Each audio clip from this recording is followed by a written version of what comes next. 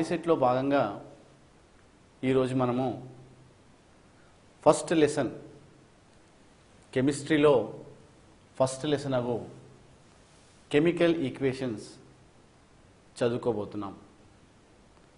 అయితే ముందుగా పాఠంలో వెళ్ళే కన్నా ముందు దాంట్లో ఉండే బేసిక్స్ మనకు చాలా అవసరం. అవి ఏమిటంటే అసలు కెమికల్ రియాక్షన్ రసాయన చర్యలు అనగానేమి? క్రియాజన్యాలు అనగానేమి? క్రియాజనకాలు అనగానేమి? ఇటువంటివన్నీ నేర్చుకున్న తర్వాత మనము పాఠ్యాంశంలోకి వెళ్ళడం జరుగుతుంది. పాలిసెట్లో భాగంగా ఈరోజు రసాయన శాస్త్రంలో మొదటి లెసనగు కెమికల్ ఈక్వేషన్స్ మనం చదువుకుంటున్నాము. అయితే ఇక్కడ చూసినట్టయితే ముందుగా రసాయన చర్యలు రెండు రకాలుగా ఉంటాయి. అంటే దానిలో కలిగే మార్పులు రెండు రకాలుగా మనము గమనించవచ్చు. ఒకటి భౌతిక మార్పులు అనవచ్చు. రెండవది రసాయన మార్పులుగా చెప్పుకుంటాం. అయితే ఇక్కడ భౌతిక మార్పులు చూసినట్టయితే మీకు బెస్ట్ ఎగ్జాంపుల్ మనం చూసినట్టయితే నీరు తీసుకోండి. నీరు ఆవిరిగా మారుతుంది. ఆవిరిగా మాట మారిన తర్వాత దాన్ని మళ్ళీ మనము కండెన్స్ చేయడం జరుగుతుంది. మళ్ళీ అది కండెన్స్ అయ్యి తర్వాత ఏమవుతుంది వాటర్లా కన్వర్ట్ ఐస్లా కన్వర్ట్ అయ్యి ఐసు మళ్ళీ నీళ్ళలా కన్వర్ట్ అవుతుంది. అంటే ఒక పదార్థం నుండి ఇంకో పదార్థం మారుతుంది. దాన్ని భౌతిక మార్పులు అంటారు. అంటే నీరు ఆవిరిగా మారి ఆవిరి మళ్ళీ నీరుగా మారి తర్వాత ఐస్గా మారి తర్వాత అంటే ఒక రకమైన సర్కిల్ అంటే భౌతిక మార్పుల్లాగా మనం ఈ ఈ యొక్క చర్యను మనం చెప్పుకోవచ్చు. అంటే ఒక పదార్థము మళ్ళీ దాని పదార్థంలోకి మారే అవకాశం ఉంటుంది. దీనికి ఎగ్జాంపుల్గా మనం చూసినట్టయితే నీరును ఆవిరిగా మార్చడం. దాని తర్వాత చూసినట్టయితే మెల్టింగ్ ఆఫ్ ఐస్. మనము ఐస్ని వాటర్ లాగా మెల్టింగ్ ఐస్ని వాటర్ లాగా మనము మార్పు చేయడం. తర్వాత చూసినట్టయితే క్రిస్టలైజేషన్ ఆఫ్ సాల్ట్. సాల్ట్ని మనము క్రిస్టలైజేషన్ చేయడం కూడా భౌతిక మార్పు కింద చెప్పుకోవచ్చు. ఇకపోతే కండెన్సేషన్ ఆఫ్ వాటర్.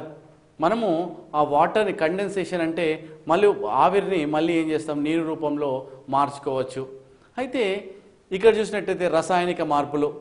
ఈ రసాయనిక మార్పుల్లో బొగ్గును మండించడం. అంటే ఏదైనా ఒక వస్తువును తీసుకొని దాన్ని మండించినట్టయితే అది కంప్లీట్గా ఒక పదార్థం నుండి ఇంకొక పదార్థంలోకి మారుతుంది. అంటే అది మళ్ళీ ఒరిజినల్ పదార్థం అంటే క్రియాజనకాలుగా మారదు. అటువంటి వాటిని రసాయన చర్యలు అంటారు రసాయన మార్పులు అంటారు ఇక్కడ మనం. ఆహారం జీర్ణించమనుకో జీర్ణం కావడం అనుకోండి ఆహారం జీర్ణం అవుతుంది మళ్ళీ మళ్ళీ ఆహారంలోకి అది మారదు. ఇటువంటి మార్పును రసాయనిక మార్పులు అంటారు. ఒక ఇనుప రేకును చాలా కాలం పాటు తేమ వాతావరణంలో ఉంచడం వల్ల అది ఏమవుతుంది తుప్పు పడుతుంది. ఆ తుప్పు పట్టిన రేకు మళ్ళీ బ్యాగ్గా ఇనుపుగా మారదు. ఇటువంటి మార్పులను రసాయనిక మార్పులు అంటారు. లేదా మనం శ్వాసించడం. శ్వాసించడం ద్వారా మనం ఏమైంది?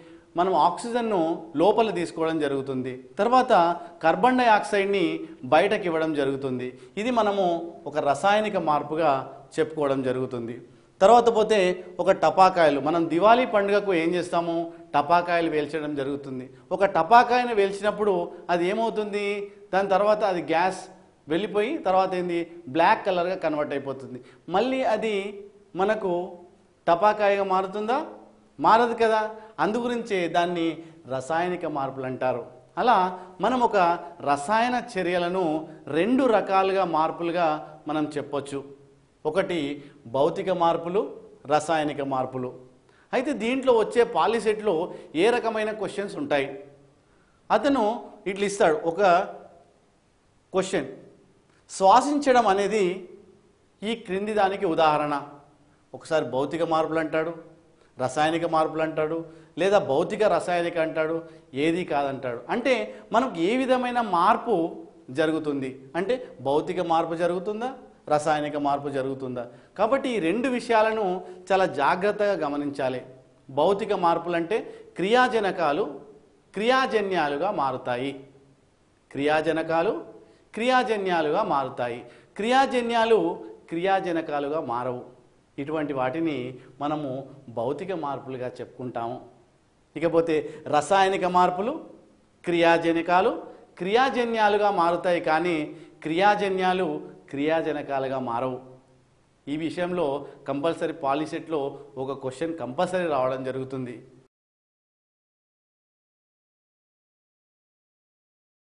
ఇక్కడ ఒక రసాయన చర్యను గమనించినట్టయితే మనం యాక్టివిటీ వన్ ఫస్ట్ లెసన్లో యాక్టివిటీ వన్ చూసినట్టయితే ఎడమ సైడ్ ఉన్న వాటిని క్రియాజనకాలని కుడి సైడ్ వాటిని క్రియాజన్యాలు అని అంటారు. అయితే దీంట్లో చూసినట్టయితే మనకు కాల్షియం ఆక్సైడ్ దీన్ని కాల్షియం ఆక్సైడ్ అని సిఏఓ అంటారు. వాటర్ హెచ్ మరియు ఈ రెండిటి మధ్య చర్య జరిగి కాల్షియం హైడ్రాక్సైడ్ మనకు రావడం జరుగుతుంది. అయితే ఇక్కడ పొడి సున్నంను నీటిలో కలిపినప్పుడు ఇక్కడ కాల్షియం హైడ్రాక్సైడ్ రావడం జరుగుతుంది. అయితే ఈ రియాక్షన్ గురించి కొంచెం డీప్గా వెళ్ళినట్టయితే కాల్షియం కాల్షియం ఆక్సైడ్ ముఖ్యంగా చూద్దాం. కాల్షియం ఆక్సైడ్ కాల్షియం టూ ప్లస్గా మనం రాయొచ్చు. దాని వ్యాలెన్సీ చూసినట్టయితే కాల్షియం టూ ప్లస్. ఇకపోతే ఆక్సిజన్ది టూ మైనస్.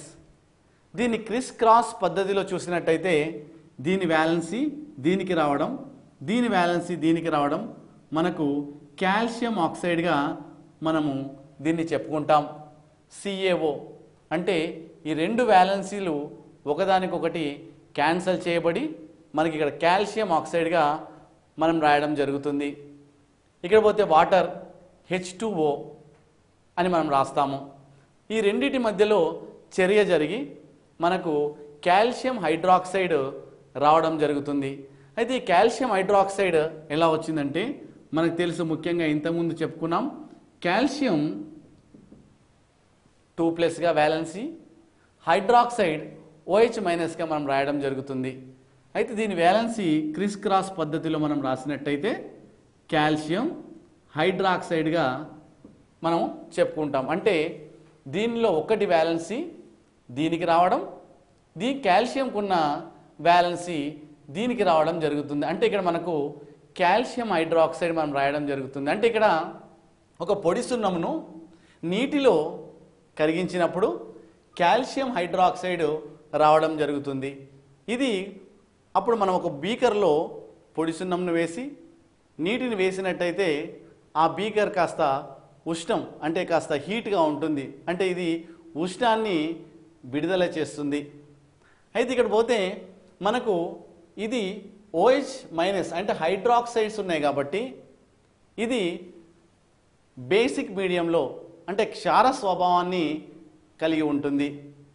అయితే ఈ విధంగా మనము ఎడమ సైడ్ ఉన్న వాటిని క్రియాజనకాలని కుడి సైడ్ ఉన్న వాటిని క్రియాజన్యాలని అంటాము.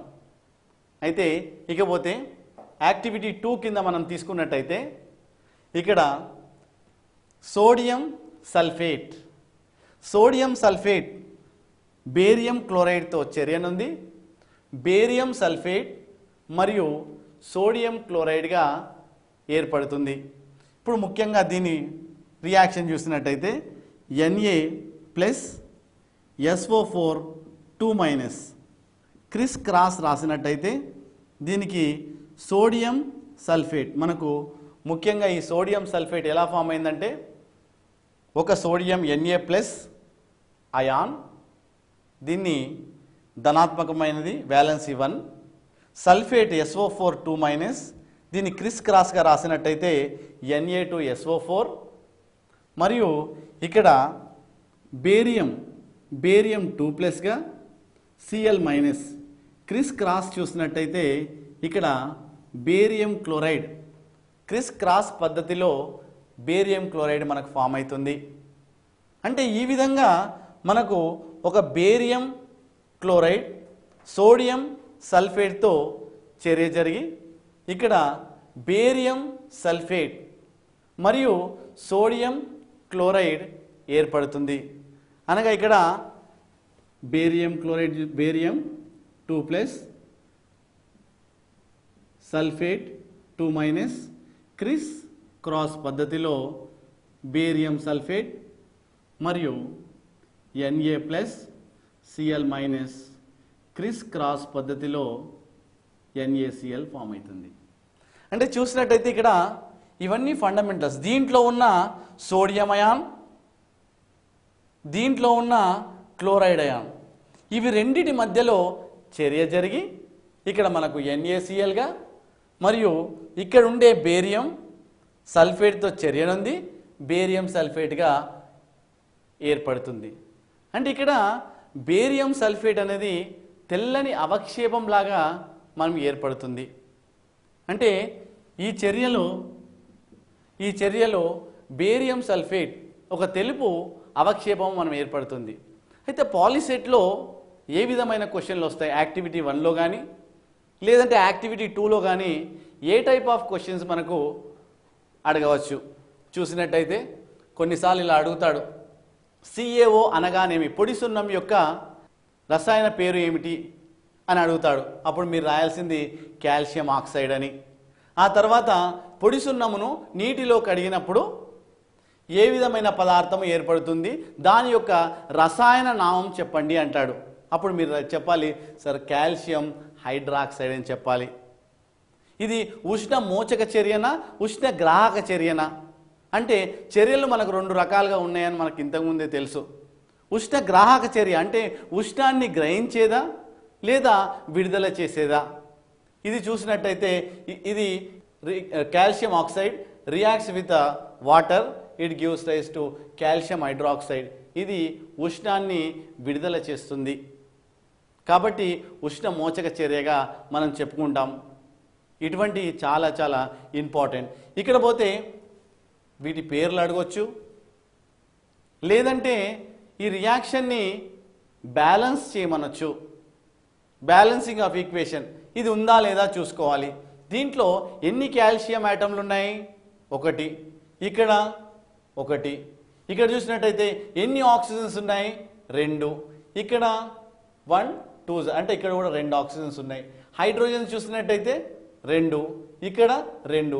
కాబట్టి ఇది ఏంటంటే ఒక మోలు ఒక మోలు కాల్షియం ఆక్సైడ్ ఒక మోలు వాటర్తో చర్యనుంది ఒక మోలు కాల్షియం హైడ్రాక్సైడ్గా ఏర్పడుతుంది. ఇకపోతే యాక్టివిటీ టూ గురించి వచ్చినట్టయితే ఇక్కడ సోడియం సల్ఫేట్ ఇది ఫార్ములా అడగొచ్చు. ఒక్కొక్కసారి దీని ఫార్ములా అడగొచ్చు. బేరియం క్లోరైడ్ దీని ఫార్ములా అడగొచ్చు. బేరియం సల్ఫేట్ దీని ఫార్ములా అడగొచ్చు. సోడియం క్లోరైడ్ దీని ఫార్ములా అడగొచ్చు. కాబట్టి ఒక రియాక్షన్ ఒక రసాయన సమీకరణము మనకు దాని యొక్క పేర్లు క్షుణ్ణంగా తెలిసి ఉండాలి. అయితే ఇక్కడ మనకు ఎన్ని మోళ్ళు ఎన్ని మోళ్ళుతో రియాక్ట్ అయ్యి ఎన్ని మోళ్ళు ఇస్తుంది? ఇది చాలా ఇంపార్టెంట్. ఎందుకోసం అంటే మీకు రసాయన సమీకరణంలో ఎన్ని మోళ్ళు ఎన్ని మోళ్ళతో రియాక్ట్ అయింది? అంటే దీంట్లో చూసినట్టయితే ఒక మోల్ అంటే ఫస్ట్ రియాక్షన్ బ్యాలెన్స్ అయిందా లేదా సమతుల్యం అయిందా లేదా అనే విషయాన్ని ఫస్ట్ మనం గమనించాలి. ఇక్కడ పోతే ఎన్ఏ రెండు ఎన్ఏలు ఉన్నాయి. ఎడమ సైడ్ అంటే క్రియాజనకాల వైపు రెండు ఎన్ఏలు ఉన్నాయి. మరి క్రియాజన్యాల వైపు ఉన్నాయా? అవి కూడా చూడాలి. ఇక్కడ రెండు ఎన్ఏలు ఉన్నాయి. అంటే ఈ రెండు ఎన్ఏలతో ఈ రెండు ఎన్ఏలు సమతుల్యం చేయబడినది. సరే ఇక్కడికి వస్తాం. ఇక్కడ ఎన్ని ఎన్ని సల్ఫర్లు ఉన్నాయి? ఒకటి. మరి కుడివైపు ఎన్ని ఉన్నాయి? ఒకటి. అంటే సమతుల్యం చేయబడినది. మరి ఇక్కడ ఆక్సిజన్ చూద్దాం. ఆక్సిజన్ ఎన్ని ఉన్నాయి? నాలుగు. మరి కుడివైపు ఎన్ని ఉన్నాయి? నాలుగు. అంటే సమతుల్యం చేయబడినది.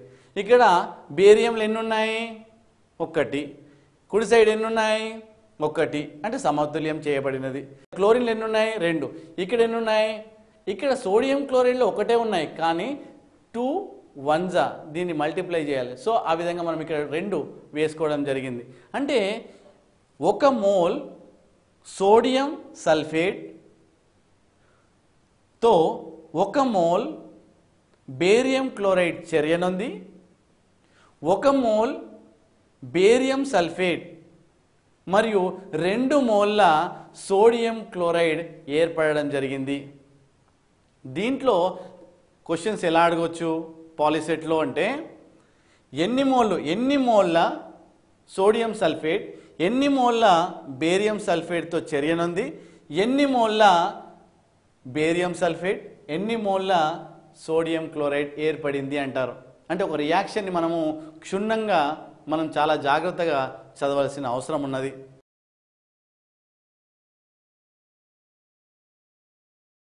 ఇప్పుడు యాక్టివిటీ త్రీ చూద్దాం.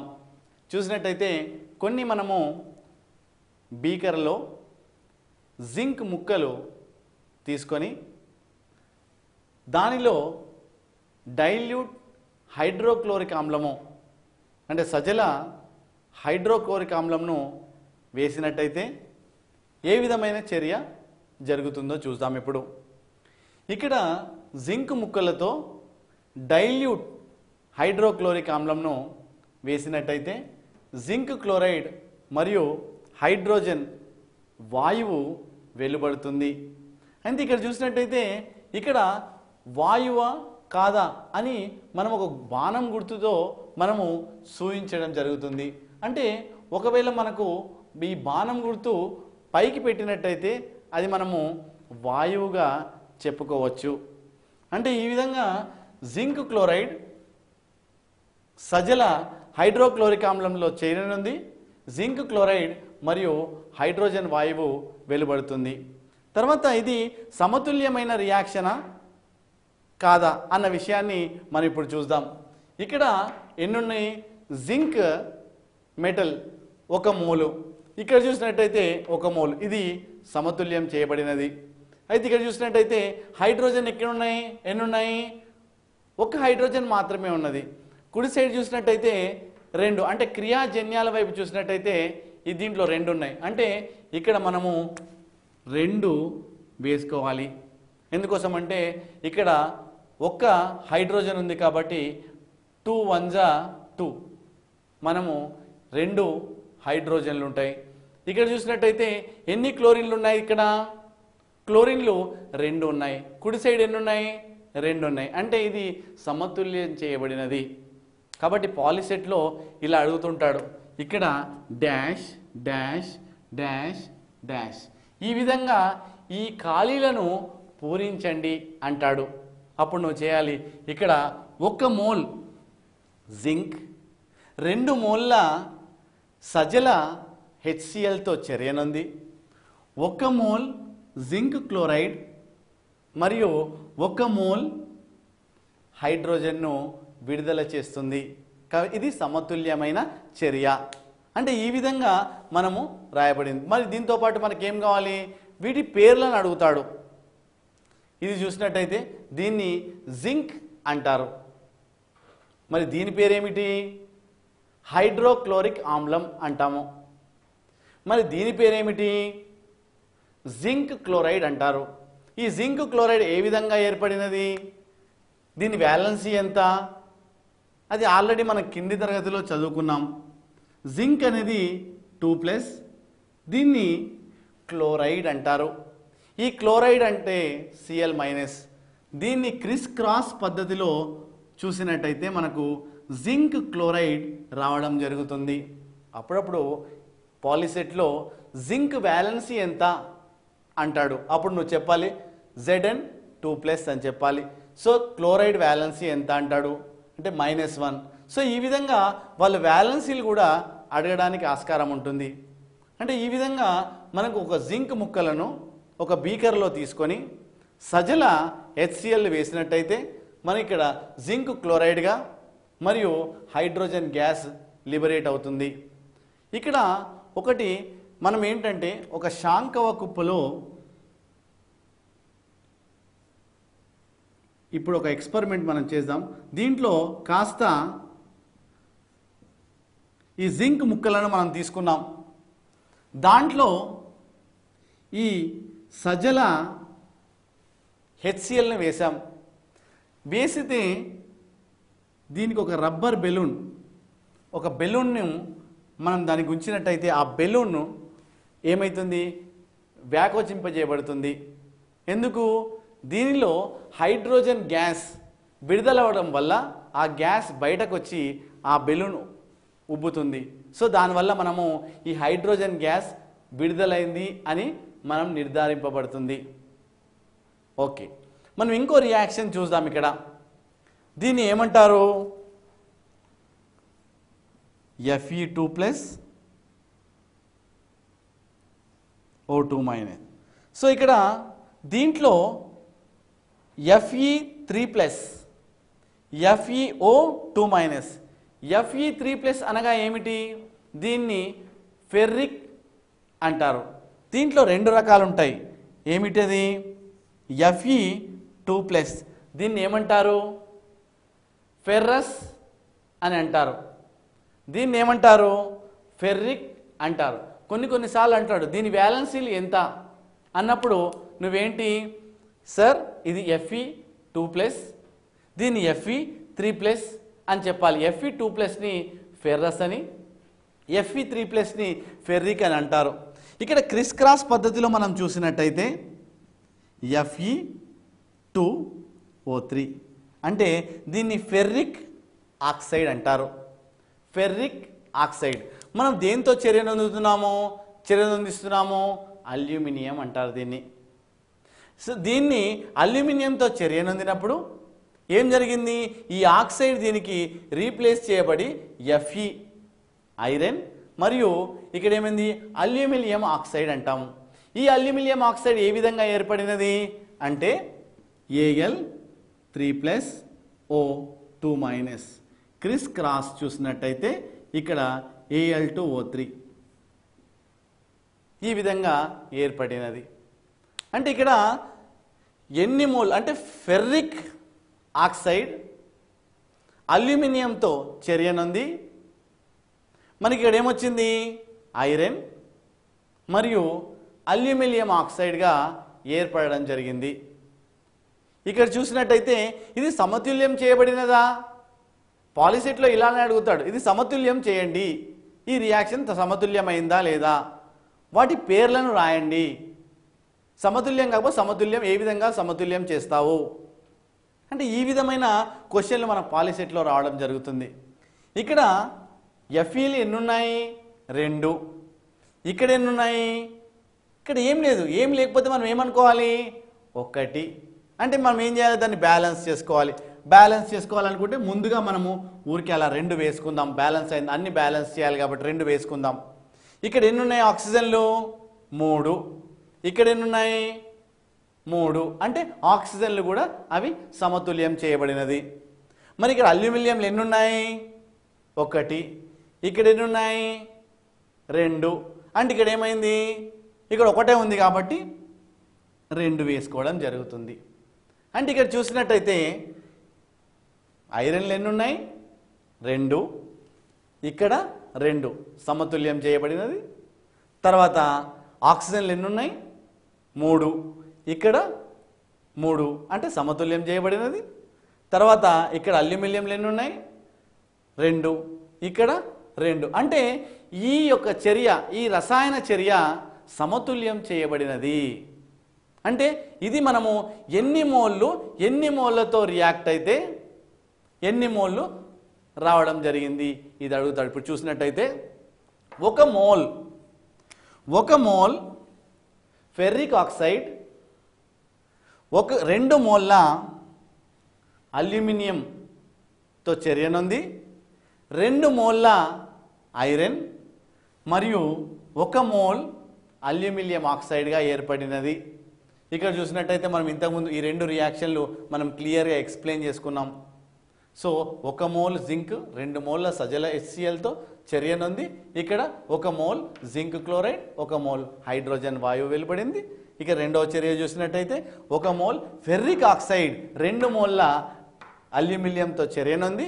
రెండు మోల్ల ఐరన్ మరియు ఒక మోల్ అల్యూమినియం ఆక్సైడ్గా ఏర్పడింది.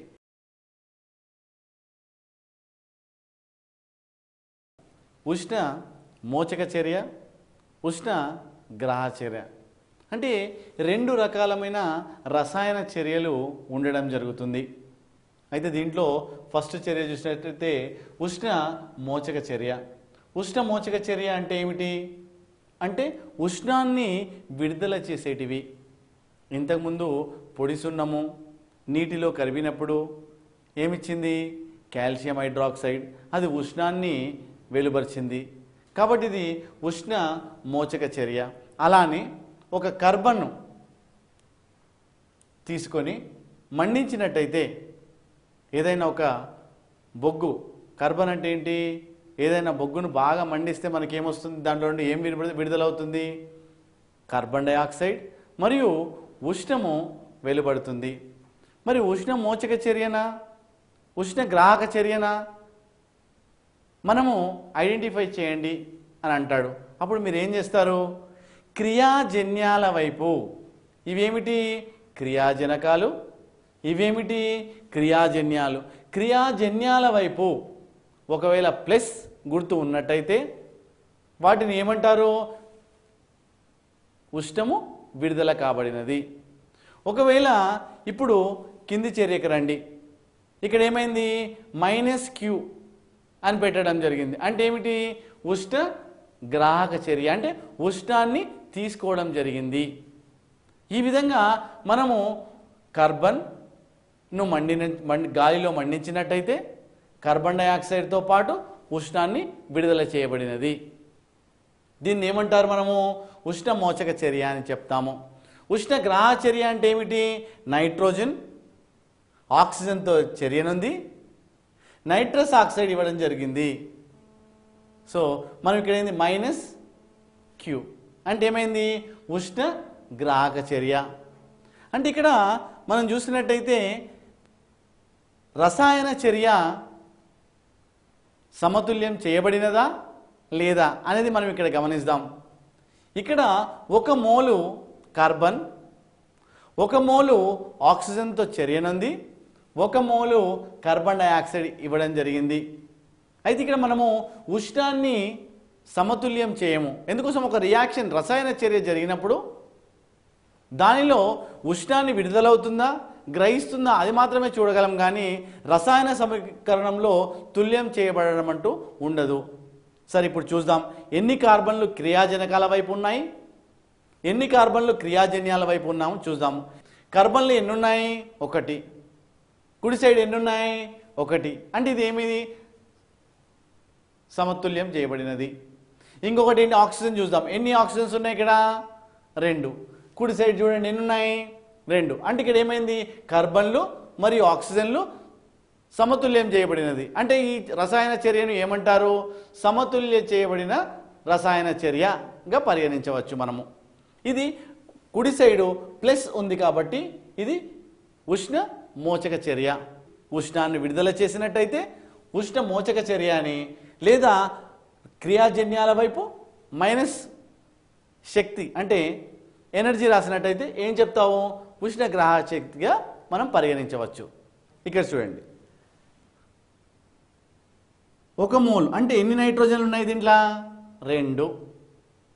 ఇక్కడ ఎన్ని ఉన్నాయి? ఆక్సిజన్ నైట్రోజన్లు ఎన్ని ఉన్నాయి? ఒకటి. అంటే సమతుల్యం చేయబడలేదు. అప్పుడు ఏం చేయాలి? క్రియాజన్యాల వైపు మనము రెండు పెట్టాలి. అంటే ఇప్పుడు ఎన్ని ఇక్కడ రెండు నైట్రోజన్లు కుడివైపు ఎన్ని ఉన్నాయి? రెండు నైట్రోజన్లు. అంటే రెండు సమతుల్యం చేయబడినది. ఇక చూసినట్టయితే ఆక్సిజన్ ఎన్ని ఉన్నాయి? రెండు. కుడివైపు ఎన్ని ఉన్నాయి? రెండు ఒకట్ల. ఇక్కడ ఏం చేయాలి? వన్ వన్ ఉంటుంది అన్నట్టు టూ వన్ జా. ఏమైంది? టూ అంటే రెండు నైట్రోజన్లు రెండు ఆక్సిజన్లు. అంటే రెండు నైట్రోజన్లు రెండు ఆక్సిజన్లు. సమతుల్యం చేయబడినది. ఇకపోతే ఇంకాస్త ముందుకు వెళ్దాం వాటి యొక్క ద్రవ్యరాశి సమతుల్యం చేయబడిందా? ఏవి? ఎన్ని మోల్లు రియాక్ట్ అయింది? ఎన్ని మోల్? ఇప్పుడు చూద్దాం. One mole. One mole. One mole. దీన్ని ఏమంటావు? MOLE. Mole. One mole carbon one mole ఆక్సిజన్తో చర్యనుంది వన్ మోల్ కార్బన్ డైఆక్సైడ్గా ఏర్పడినది. ఇక్కడ చూసినట్టయితే ఎన్ని గ్రాముల కార్బన్ ఎన్ని గ్రాముల ఆక్సిజన్తో చర్యనుంది ఎన్ని గ్రాముల కార్బన్ డైఆక్సైడ్ ఇచ్చింది? అని అడుగుతాడు దీంట్లో. అప్పుడు నువ్వేం చేయాలి? వాటి యొక్క మాస్ నెంబర్ ద్రవ్యరాశిని పరిగణనలోకి తీసుకోవాలి మనం. ఎలా? కార్బన్ చూసినట్టయితే. బట్ అటామిక్ నెంబర్ ఏంటి కార్బన్? కార్బన్ అటామిక్ నెంబర్ పరమాణు సంఖ్య ఆరు. దాని యొక్క మాస్ నెంబర్ ఎంత? ట్వెల్వ్. కాబట్టి దీన్ని మనం ఏం చేయాలి? పన్నెండు గ్రాముల పన్నెండు గ్రాముల కార్బన్. ఇది ఎన్ని గ్రాములు? ఆక్సిజన్. ఆక్సిజన్ అటామిక్ నెంబర్ ఎంత? ఎనిమిది. మాస్ నెంబర్ ఎంత? సిక్స్టీన్. అంటే మనము పదహారు గ్రాముల ఆక్సిజన్ మీరు రాశారనుకో అది తప్పు అవుతుంది ఎందుకు? ఇది ఏ స్టేట్లో ఉంది? యాటమ్ అంటే కార్బన్ మనం ఏం రాస్తాము? సిగా రాస్తాము. ఇక్కడ ఓ అని రాయలేదు కదా. మనం ఏం రాసాము టూగా రాసాము కాబట్టి మీరు ఇదేం చేయాలి? సిక్స్టీన్ ప్లస్ సిక్స్టీన్ అని రాసిన లేదంటే టూ ఇంటూ ఇక్కడ రెండు ఉంది కాబట్టి రెండుతో గుణించడం జరుగుతుంది. అంటే టూ సిక్స్టీన్స్ ఇక్కడ ఏం రాయాలి? థర్టీ టూ గ్రామ్స్ ఇలా రాయాలి. ఇక్కడ వన్ ఏ ఉంది కాబట్టి కావాలంటే నీకు అర్థమయ్యే విధంగా వన్ ఇంటూ ట్వెల్వ్ ట్వెల్వ్గా రాసుకో. పన్నెండు గ్రాముల కార్బన్ ఎన్ని గ్రాముల ఆక్సిజన్తో చర్య నొందింది? ముప్పై రెండు. థర్టీ టూ గ్రామ్స్ ఆఫ్ ఆక్సిజన్తో చర్యనుంది మరి ఎన్ని గ్రాములు ఇచ్చింది? ఇప్పుడు చూద్దాం. ఇక్కడ ఏముంది? కార్బన్ ఉంది. అంటే ఎంత? ట్వెల్వ్ గ్రామ్స్ మేము ఇప్పుడు అనుకున్నాం కదా. ఇక్కడ చూడా? Twelve grams plus two into sixteen అంటే ఇక్కడ ఏమొచ్చింది? ఫార్టీ ఫోర్ గ్రామ్స్ చూసారా?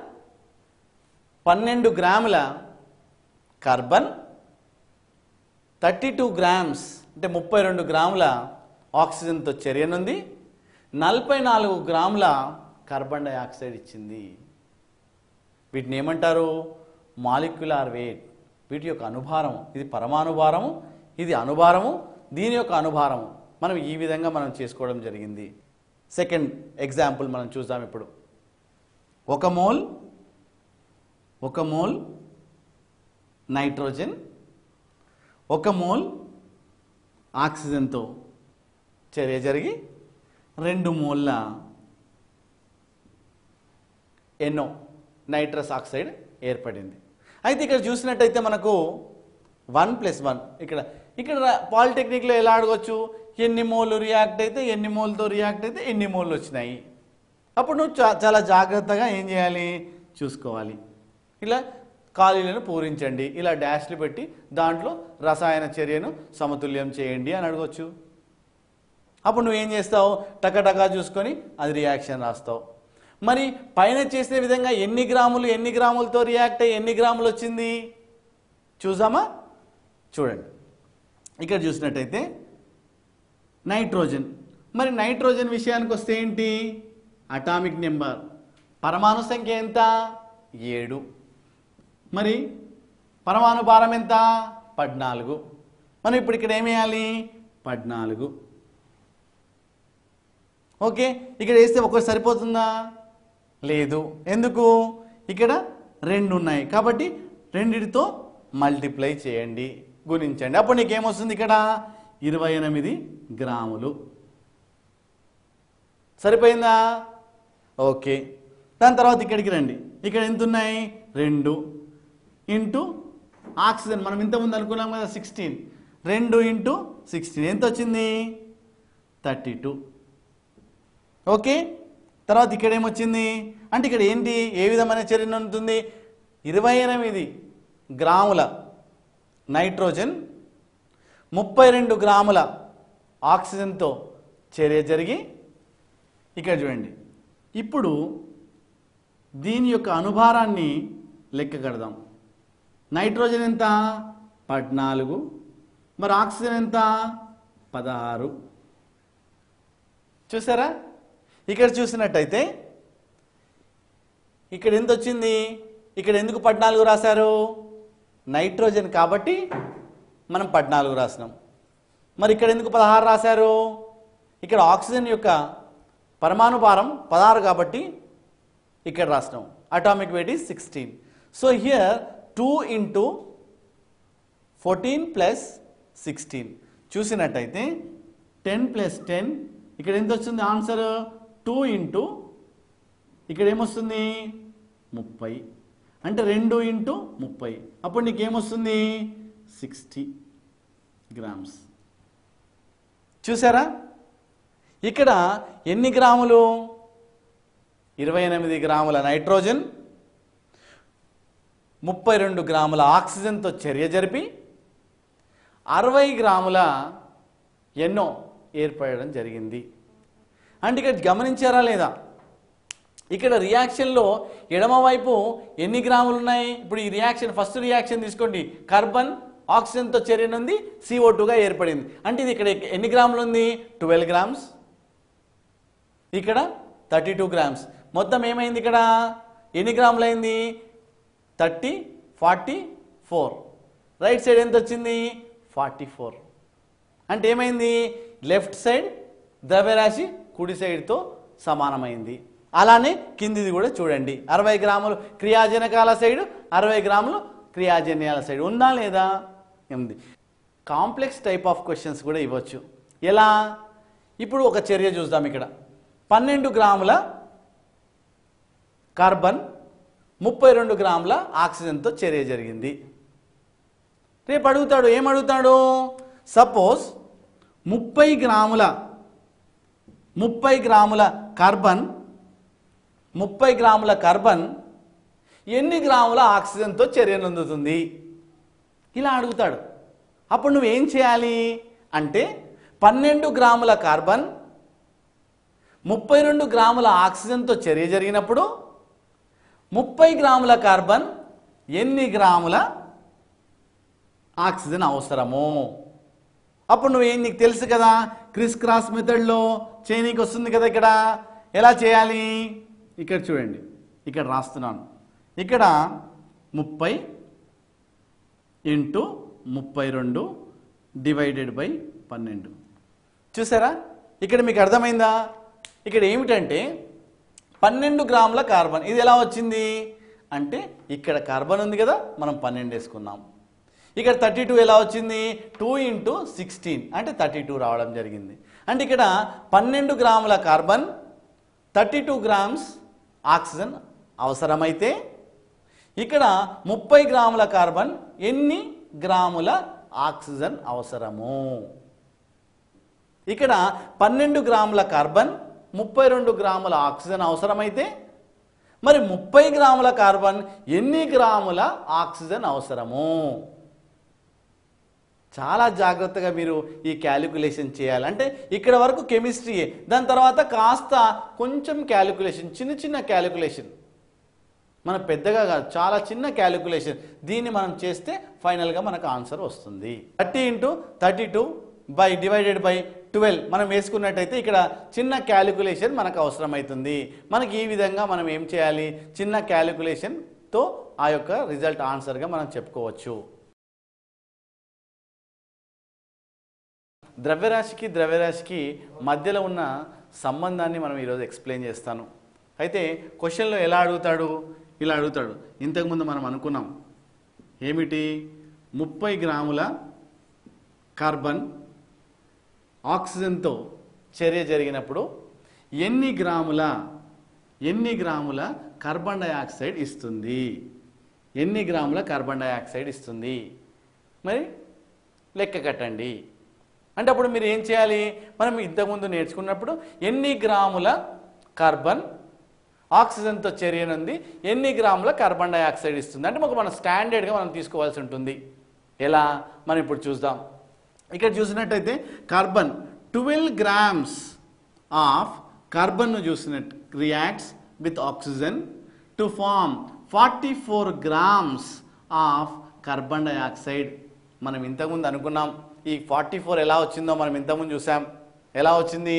పన్నెండు గ్రాముల కార్బన్ మరియు two into sixteen grams. Total forty four grams of carbon dioxide ఇక్కడ రావడం జరుగుతుంది. అంటే ఇక్కడ పన్నెండు గ్రాముల కార్బన్ ఆక్సిజన్తో చర్యనుంది నలభై నాలుగు గ్రాముల కార్బన్ డైఆక్సైడ్ ఇవ్వడం జరుగుతుంది. అయితే ఇక్కడ థర్టీ గ్రామ్స్ ఆఫ్ కార్బన్ మరి ఎన్ని గ్రాముల కార్బన్ డైఆక్సైడ్ ఇస్తుంది? అంటే మనం ముందుగా ఇలా వేసుకొని దానికి ముప్పై గ్రాములు ఏ విధంగా ఇస్తుందో మనం చూసుకోవాలి.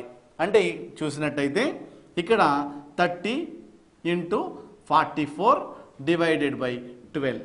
ఈ విధంగా ఇన్ని గ్రాముల ఏమిటి కార్బన్ డైఆక్సైడ్ ఇస్తుందని మనం చెప్పొచ్చు.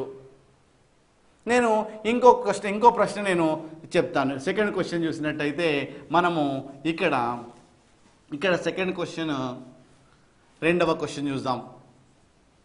ఏ విధంగా అడగొచ్చు? అంటే ఇక్కడ పదిహేను గ్రాముల కార్బన్ డయాక్సైడ్ ఏర్పడినది. దానికి ఎన్ని గ్రాముల ఆక్సిజన్ అవసరము? అంటే ఎన్ని గ్రాముల కార్బన్ ఎన్ని గ్రాముల కార్బన్ ఎన్ని గ్రాముల ఆక్సిజన్తో రియాక్ట్ అయి పదిహేను గ్రాముల కార్బన్ డైఆక్సైడ్ ఇస్తుంది అని అడిగాడు అనుకోండి. ఫస్ట్ కార్బన్ గురించి మాట్లాడదాం. నీకేం తెలుసు? కార్బన్కు కార్బన్ డైఆక్సైడ్కు మధ్య గల రిలేషన్ను మనం చూడాలి. ఏంటది? పన్నెండు గ్రాముల కార్బన్ నలభై నాలుగు గ్రాముల కార్బన్ డైఆక్సైడ్ని ఇస్తుంది. మరి పదిహేను గ్రాముల కార్బన్ డైఆక్సైడ్ని ఇవ్వాలంటే ఎన్ని గ్రాముల కార్బన్ కావాలి? అంటే మనము ఫస్ట్ రెండు క్వశ్చన్లుగా. అంటే ఇదాన్ని ఏంటి ఫస్ట్ ఈ క్వశ్చన్ను సాల్వ్ చేసిన తర్వాత ఇంకో క్వశ్చన్ చేద్దాం. ఇక్కడ చూసినట్టయితే క్రిస్ క్రాస్ చూసినట్టయితే పన్నెండు ఇంటూ పదిహేను డివైడెడ్ బై నలభై నాలుగు. ఈ విధంగా ఇన్ని గ్రాముల ఏంటి? కార్బన్ ఏర్పడుతుంది. అంటే ఇన్ని గ్రాముల కార్బన్ సమ్ ఎక్స్ గ్రామ్స్ అనుకోండి. ఎక్స్ గ్రామ్స్ కార్బన్ ఈ ఆక్సిజన్తో చర్యనుంది పదిహేను గ్రాముల కార్బన్ డైఆక్సైడ్ అంటే ఏ విధంగా అయినా మనకు పాలిసెట్లో అడగొచ్చు. ఎన్ని గ్రాములు ఎన్ని గ్రాములతో రియాక్ట్ అయితే ఎన్ని గ్రాములు ఇస్తుంది. అంటే ఒక స్టాండర్డ్ని మనం తీసుకొని మనం ఎన్ని రకాలుగైనా మనము దాన్ని గణించవచ్చు. సరే ఇప్పుడు మనము దీన్ని చూద్దాం. ఎన్ని గ్రాములు ఎన్ని గ్రాములతో రియాక్ట్ అయ్యి ఎన్ని గ్రాములు ఇస్తుంది? అంటే ఇప్పుడు చూసినట్టయితే ఇక్కడ ఏముంది? రెండు. అంటే రెండు ఇంటూ మరి అల్యూమినియం ఎంత? ఇరవై ఏడు. అంటే రెండు ఎందుకు రాసినాము రెండు మోల్ల అల్యూమినియం. ఈ ట్వంటీ సెవెన్ ఏంటి? పరమాణు భారం. అటామిక్ వెయిట్ ఆఫ్ అల్యూమినియం మరి ఈడ ఎన్ని గ్రాములతో రియాక్ట్ అవుతుంది ఇక్కడ? ఇది ఏంటి ఫెర్రిక్ ఆక్సైడ్. ఇంతకుముందు మనం చెప్పుకోవడం జరిగింది. ఇక దీన్ని ఏ విధంగా కలిగించవచ్చు చూడండి. రెండు ఇంటూ ఐరన్ ఎంత? Fifty six. ప్లస్ మూడు ఇంటూ ఆక్సిజన్ ఎంత? సిక్స్టీన్. గివ్స్ రైస్ టు ఇక్కడ ఇక్కడ అల్యూమినియం ఎంత? మళ్ళీ twenty seven. Plus three into sixteen. మరి ఇక్కడ ఎంత? ప్లస్ ఇక్కడ ఏంటి? రెండు ఇంటూ ఫిఫ్టీ సిక్స్. చూసారా? మనము ఎన్ని గ్రాములు వస్తుంది ఇక్కడ? ఇన్ని గ్రాములు. ఇన్ని గ్రాములతో చర్యనందినట్టయితే ఇన్ని గ్రాముల అల్యూమినియం ఆక్సైడ్ ఇన్ని గ్రాముల ఏంటి? ఐరన్ ఏర్పడుతుంది. ఒక నూట ఇరవై గ్రాముల అల్యూమినియం ఫెర్రిక్ ఆక్సైడ్తో చర్యనుంది ఎన్ని గ్రాముల అల్యూమినియం ఆక్సైడ్ ఏర్పడుతుంది? ఇంకో రకంగా ఏమి అడగచ్చు? సపోజ్ ఒక మూడు వందల గ్రాముల ఫెర్రిక్ ఆక్సైడ్ అల్యూమినియంతో చర్యనుంది ఎన్ని గ్రాముల ఐరన్ ఏర్పడుతుంది? అంటే ఇది ఏంటి దీన్ని నువ్వు స్టాండర్డ్గా తీసుకోవాలి. అంటే ఇదేంటి? ఒక ద్రవ్యరాశికి ద్రవ్యరాశికి మధ్యలో ఉన్న సంబంధము. ఓకే. సో ఇక్కడ చూసినట్టయితే సోడియం వాటర్తో చర్యనుంది. సోడియం హైడ్రాక్సైడ్ మరియు హైడ్రోజన్ వాయువు విడబడుతుంది ముఖ్యంగా మనం ఫస్ట్ ఇది ఏం చేయాలి? ఒక రియాక్షన్ను తుల్యం చేసుకోవాలి. తుల్యమైందా లేదా అనేది చాలా జాగ్రత్తగా మనం గమనించాలి. తుల్యం చేయకుండా మనం ముందు ద్రవ్యరాశిని క్యాలిక్యులేట్ చేసినట్టయితే మనకు తప్పుపోతుంది. ఇక్కడ మనం ముందుగా మనం తుల్యమైందా లేదా చూసుకుందాం. ఇక్కడ సోడియం ఎన్ని మో- ఎన్ని సోడియం ఉన్నాయి?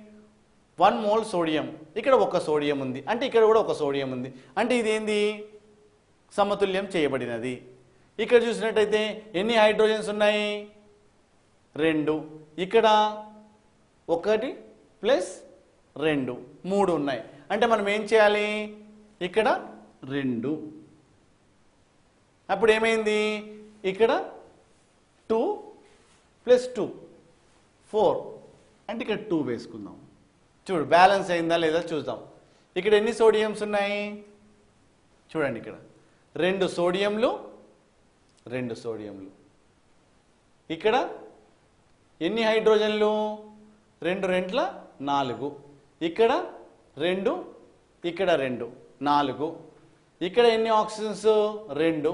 ఇక్కడ రెండు. అంటే ఈ రియాక్షన్ ఈ యొక్క రసాయన చర్య సమతుల్యం చేయబడినది. దీంట్లో ఎన్ని మోళ్ళు అంటే ఒక ఎన్ని మోళ్ళు రెండు మోళ్ళ సోడియం. రెండు మోళ్ళ నీటితో చర్యనుంది. రెండు మోళ్ళ సోడియం హైడ్రాక్సైడ్. ఒక మోల్ హైడ్రోజన్ వాయువును విడుదల చేయబడినది. అయితే ఇక్కడ చూద్దాం. ఇక్కడ ఒక ద్రవ్యరాశికి ద్రవ్యరాశికి ఉన్న సంబంధాన్ని మనం ఇప్పుడు చూద్దాం. ఇక్కడ చూసినట్టయితే రెండు ఇంటూ ఇరవై మూడు. గ్రాముల సోడియం. ఇక్కడ చూసినట్టయితే రెండు. ఇక్కడ రెండు ఇంటూ ఒకటి ప్లస్ ఒకటి ఇంటూ పదహారు. గ్రాముల వాటర్. చూసారా? ఇక్కడ ఏమైంది? నలభై ఆరు. గ్రాముల సోడియం ఎన్ని గ్రాములు ఇక్కడ ఏమొస్తుంది? Two into eighteen. గ్రాముల నీటితో చర్యనుంది ఇక్కడ ఏం జరిగింది? చూడండి ఇక్కడ.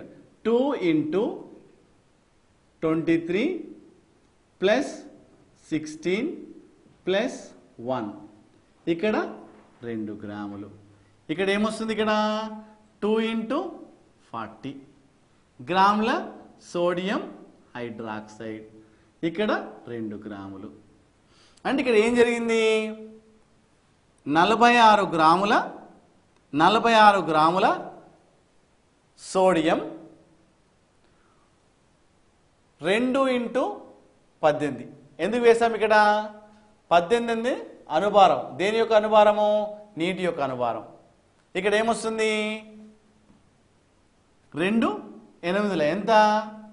Sixty one thirty six grams of water ఇక్కడ ఏమొస్తుంది ఎనభై గ్రాముల సోడియం హైడ్రాక్సైడ్. ఇక్కడ రెండు గ్రాములు. చూసారా? ఇది స్టాండర్డ్ స్టేట్మెంట్గా మనం తీసుకోవచ్చు. ఎలా? నలభై ఆరు గ్రాముల సోడియం ముప్పై ఆరు గ్రాముల నీటితో చర్యనుంది ఎనభై గ్రాముల సోడియం హైడ్రాక్సైడ్ మరియు రెండు గ్రాముల హైడ్రోజన్ వాయువును విడుదల చేయబడుతున్నది. మరి దీని మీద ఏ విధమైన క్వశ్చన్లు అయినా మనం వేయచ్చు. మీ పాలిసెట్లో ఎన్ని రకమైన క్వశ్చన్లు అయినా వేయచ్చు. మనం చూసినట్టయితే ఇప్పుడు క్వశ్చన్ నెంబర్ వన్ నేను వేస్తాను చూడండి. సోడియం నీటితో చర్య జరిగి ఎన్ని గ్రాముల సోడియం హైడ్రాక్సైడ్ ఇలా ఇస్తాడు? Fifty two grams of sodium నీటితో చర్యనుంది. ఏమడుగుతాడు? ఎన్ని గ్రాముల సోడియం హైడ్రాక్సైడ్ ఏర్పడుతుంది? అప్పుడు నువ్వేం చేయాలి? ఈ రియాక్షన్ నీకు తెలుసు కదా. నీకు ఫస్ట్ నీకేం తెలుసు? నలభై ఆరు గ్రాముల సోడియం ఎనభై గ్రాముల సోడియం హైడ్రాక్సైడ్ ఇస్తుందని తెలుసు. అప్పుడు నువ్వు ఒక స్టేట్మెంట్ రాసుకో ఇక్కడ. Forty six grams of sodium gives eighty grams of sodium hydroxide చూసారా? అంటే నలభై ఆరు గ్రాముల సోడియం ఎనభై గ్రాముల సోడియం హైడ్రాక్సైడ్ని ఇస్తుంది. మరి యాభై రెండు గ్రాముల సోడియం వాటర్తో చర్యనుంది ఎన్ని గ్రాముల సోడియం హైడ్రాక్సైడ్ ఇస్తుంది? అప్పుడు మీరు ఏం చేయాలి? Criss cross. ఇలా చూసినట్టయితే ఇంటూ ఎనభై డివైడెడ్ బై ఫార్టీ సిక్స్. ఈ విధంగా ఇన్ని గ్రాముల ఏంటి? సోడియం హైడ్రాక్సైడ్ ఏర్పడుతుంది. అంటే ఏ విధమైన క్వశ్చన్ అయినా అడగొచ్చు. ఇది చూసారా? ఇంకో క్వశ్చన్ చూద్దామా? ఇప్పుడు ఇప్పుడు ఈ విధంగా fifty two into eighty divided by forty six ఈ విధంగా ఇన్ని గ్రాముల సోడియం హైడ్రాక్సైడ్ విడుదలవుతుంది. మరి సెకండ్ క్వశ్చన్ చూద్దామా మనము? సెకండ్ క్వశ్చన్ చూద్దాం. చూసినట్టయితే ఇప్పుడు eighty grams eighty grams of sodium required dash grams of water ఇప్పుడు నేనేం అడుగుతున్నా? ఎన్ని గ్రాములలో ఒక ద్రవ్యరాశికి ద్రవ్యరాశికి ఉన్న సంబంధం గురించి మనం మాట్లాడుతున్నాం. అంటే ఎన్ని గ్రాముల సోడియం ఎన్ని గ్రాముల వాటర్ అవసరం అన్న విషయాన్ని మనం చూస్తాం. ఇదే స్టేట్మెంట్. ఏంటి? నలభై ఆరు గ్రాముల సోడియం ముప్పై ఆరు గ్రాముల నీటితో చర్యనందుతుంది అప్పుడు ఎనభై గ్రాముల సోడియం ఎన్ని గ్రాముల వాటర్ అవసరము? అంటే అప్పుడు ఏం చేయాలి? ఇంతకుముందు గత తిరిగి కాగానే eighty into thirty six divided by forty six. So ఈ విధంగా ఇన్ని గ్రాముల నీరు వాటర్ అవసరము. కాబట్టి చాలా జాగ్రత్తగా మీరు చేయాల్సి ఉంటుంది. ఫార్టీ నలభై ప్లస్ సిక్స్టీన్. ఇదేంటి నలభై ఏంటి? పరమాణు భారం. తర్వాత ఆక్సిజన్. యాభై ఆరు గ్రాముల కాల్షియం ఆక్సైడ్. దేంతో రియాక్ట్ అయింది? Twelve plus two into sixteen. అంటే forty four grams of carbon డైఆక్సైడ్తో చర్యనుంది. ఇక నీకేమిచ్చింది? Forty plus twelve plus three into sixteen. Hundred grams. If it is a closed container it is a reversible reaction మనం ఎలా రాయొచ్చు? Calcium oxide carbon డైఆక్సైడ్తో చర్యనుంది calcium carbonate ఏర్పడినది. మరి తిరిగి ఇలా కూడా రాయొచ్చు రియాక్షన్ని ఎలా? కాల్షియం కార్బోనేట్ వేడి చేసినట్టయితే కాల్షియం ఆక్సైడ్ ప్లస్ కార్బన్ డైఆక్సైడ్గా కూడా మనం రాయొచ్చు. అంటే ఇక్కడ ఏమైంది? కార్బోనేట్లు ఎప్పుడైతే ఉంటాయో కార్బన్ డైఆక్సైడ్ వాయువు విడుదలవుతుంది. దీన్ని ఎలా చేయొచ్చు? Hundred grams of calcium core calcium carbonate gives fifty six grams of calcium oxide and forty four grams of water carbon dioxide so ఈ విధంగా మనం ఎన్నైనా క్వశ్చన్లు వేసుకోవచ్చు. ఏ విధమైన క్వశ్చన్లు వేస్తావు ఇప్పుడు? Suppose fifty grams fifty grams of calcium carbonate ఎన్ని గ్రాముల కాల్షియం ఆక్సైడ్ ఏర్పడుతుంది? లేదంటే ఎన్ని గ్రాముల కార్బన్ డైఆక్సైడ్? అంటే నువ్వు ఫస్ట్ చేయాల్సినది ఏమిటి? ఇక్కడ దీన్ని గుర్తుపెట్టుకోవాలి. Hundred grams of calcium carbonate gives fifty six grams of calcium oxide forty four grams of water carbon అలానే మనము ఈ కింది రియాక్షన్ను మనం చేద్దాం. ఏ విధంగా చేద్దాము? ఎన్ని గ్రాముల ఎన్ని మోల్ ఉన్నాయి ఇక్కడ? మెగ్నీషియం ఎన్ని ఉన్నాయి వన్. ఇక్కడ ఎన్ని ఉంది వన్. సమతుల్యం చేయబడినది.